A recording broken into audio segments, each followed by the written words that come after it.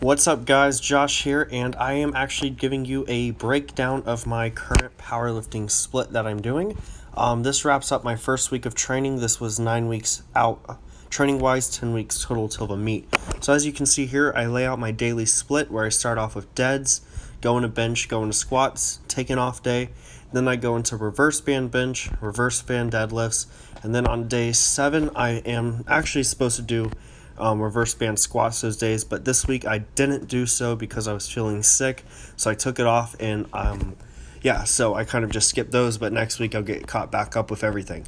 So as you can see, I got my estimated maxes here. I'm basing everything off of those for my meet. Uh, my squat max is in wraps, however, um, I'm still hitting the numbers right now without wraps, although next week I am going to start adding those back in. So um, as you can, or as you saw, I have the breakdown for my week. So, weeks one through three of training, my big compound lifts, I'm going to focus on heavy fives. Weeks four through five, I'm going to move into heavy heavy triples. Week six, I'm going to move into doubles, and then week seven through nine, I'm going to focus on singles. I'm spending three weeks doing heavy singles because I have I struggle the hardest with that. Um, truthfully, I'm really good at three, fives, and sevens. Um, if you give me reps, I'm really good at cranking them out and getting them prettier as they go. However, when it comes to singles, I have to get perfect because that's all I'm allowed to in competition.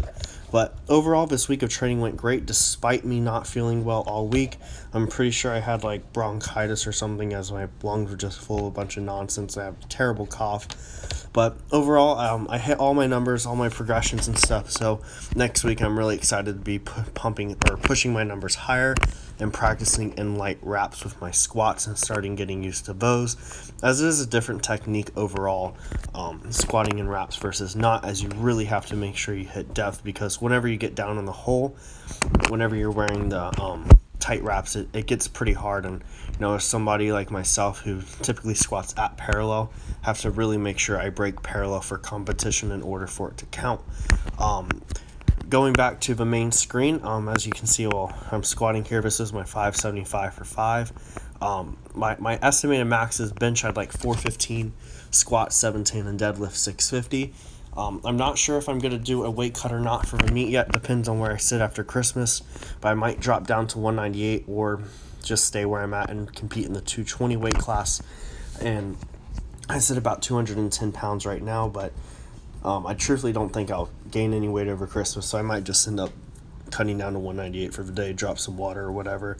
But um, this was actually my first time doing these reverse band deadlifts. Um, I really like them. Right when you get about there, shit gets heavy and the band stop helping completely, and you really have to just focus on driving through the hips. That's typically my hardest part of the deadlift is driving through from that point.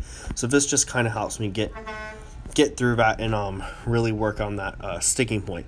The reason why I don't do a block pull or rack deadlift is because this actually gets me just still pulling from the floor, but just aids me up into the spot where I need it to and just getting used to the overall movement.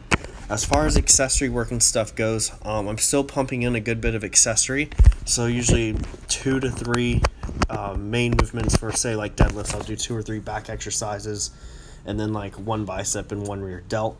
Following, um, same thing with chest, usually like two exercises and then like uh, one or two shoulders, and then one for triceps. Kind of just doing a push pull legs routine for the most part, except for my last squat day, which um, instead of hitting complete legs again, I'll focus mostly on hamstrings and also move into shoulders with that as well, as shoulders are a weak point.